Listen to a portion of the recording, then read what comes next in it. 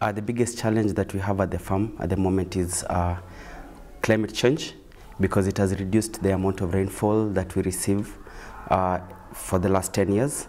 We're seeing that the rain is becoming, uh, we can, it doesn't come with a predictable uh, pattern.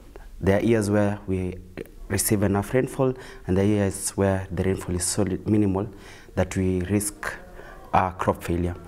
So that is one of the challenges. We have not been able to access technologies that other countries are enjoying, like uh, irrigation, first and foremost because it is expensive. Uh, gene editing tools for crops that can withstand harsher conditions. We have not been able to, to, to uh, enjoy those technologies.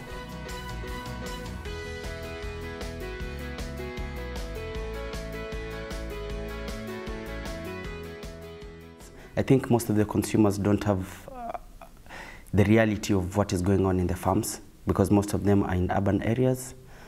Uh, they only consume food. So I'd like to tell the consumers that we produce safe food because we also raise our families in the farm. They eat the produce directly from what we harvest.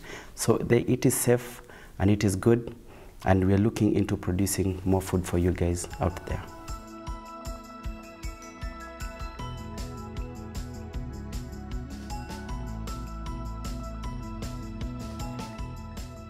If some of these tools that we're using right now are going to be taken away from us, I think the world is going to starve because uh, there's no way we're going to feed the, uh, the crops without some of these inputs like fertilizer.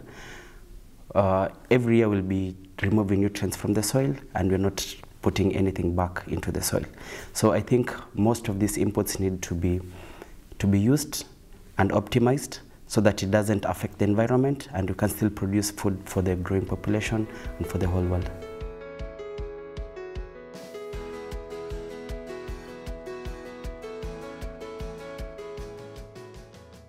Looking into the past, where my dad started farming, he started in a humble way. He, my dad is not educated. He was a mechanic. He had to drop out of school in order to sustain his family. But he had a passion for farming. And uh, during his working as a mechanic, he was able to make some money. And he went into farming, started leasing small pieces of land.